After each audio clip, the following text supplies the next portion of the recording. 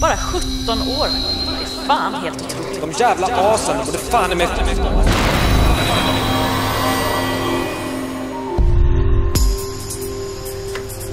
Det är en tjej som bara är ett år äldre än du som hittats död på ett hotell här i Vasastan.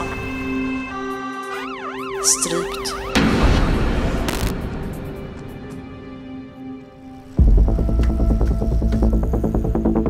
Går det att ta reda på vem hon är? Hon hade checkat in på ett hotell under gårdagskvällen. Det är hon.